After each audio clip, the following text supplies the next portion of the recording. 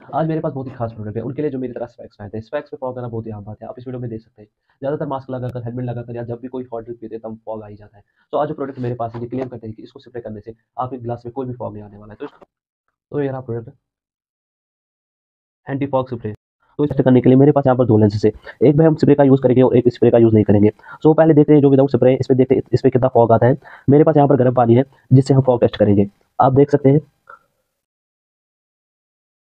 तो आप क्लियरली देख सकते हैं इसमें कितना फॉग आया हुआ है।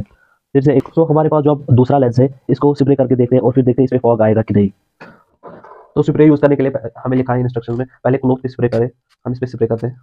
अब हम इसको, इस पर रब तो मैंने पूरे अच्छे से, अच्छे तरीके से रब कर लिया है। तो अब हम इसको ऐसे ही गर्म पानी पे टेस्ट करेंगे, देखेंगे इस पर फॉग आएगा कि नहीं।